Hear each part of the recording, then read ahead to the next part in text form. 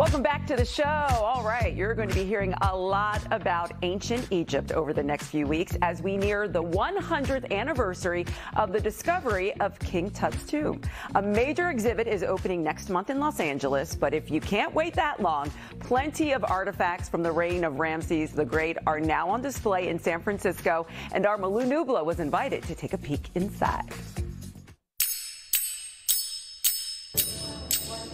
Ancient Egypt comes to life here at the De Young Museum in San Francisco with an extraordinary new exhibit called Ramses the Great. And this is Renee. Hi, Renee. Hey, hello. I'm so glad to have you here and share this with you. Well, so this is so exciting. Can you tell us about who is Ramses the Great? Oh, well, Ramses the Great lived around 1300 BC, and he was by far the mightiest and the most celebrated of the pharaohs of the New Kingdom when Egypt was at its height, when it was wealthy, when it was prosperous, when it was strong.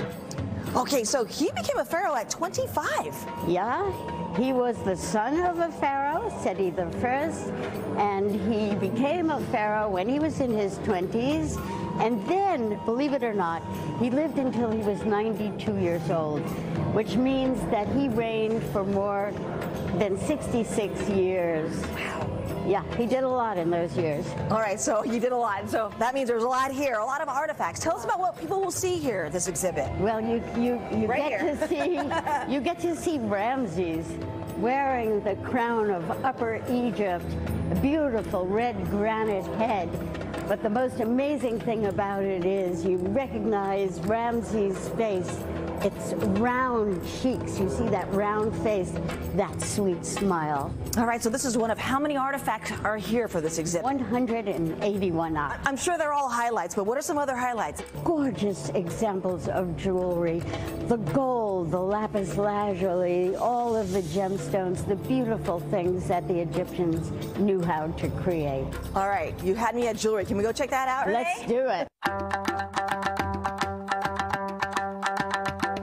So this is beautiful, and there's it's more than jewelry here, Renee. Oh, everything in this exhibition is more than it, it meets the eye because everything in ancient Egyptian times was symbolic.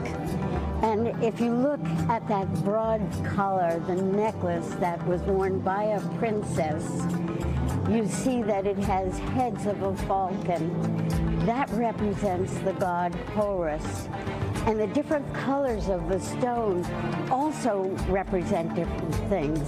So you have the red of carnelian, that it was symbolic of blood, and you have a green feldspar, that is the new growth in the springtime. Uh, you know, everything means something to the ancient Egyptians. It, the gold. And the gold. the, the gold, gold. The gold is everywhere.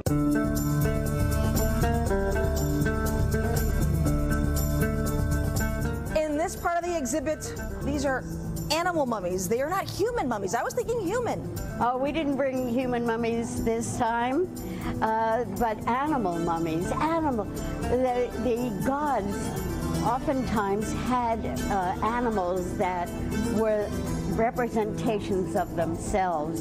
And for example, we have a box that has uh, over, a, well, it has hundreds of, of, mummified scarab beetles in it. You see the scarab beetles on the top of the box.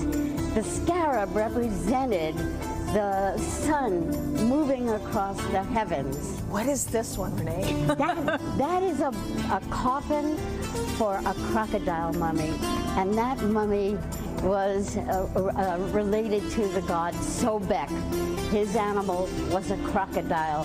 So offerings, prayers could be made this this crocodile mummy going directly to the gods so that he would answer your prayer. Oh, so fun to learn about all of this. Okay, you also have um, a virtual immersive, another sort of immersive experience here? Yes, we do. Uh, it's a separate ticket and it is in a room. It has uh, a 3D virtual reality where Nefertari, Ramses the Great's favorite wife, takes you through the tour of the big temples in Abu Simbel in Nubia and her very gorgeous tomb in the Valley of the Queens. Renee, what an extraordinary exhibit here, Ramses the Great at de Young Museum in San Francisco. Make sure you check it out. Thank you so much. Thank you so much. Wonderful. All right, you can really get lost in there. And be sure to tune in tomorrow as Museums Week continues with my visit to the Motion Picture Academy's new exhibit celebrating icons of black cinema. You don't want to miss it.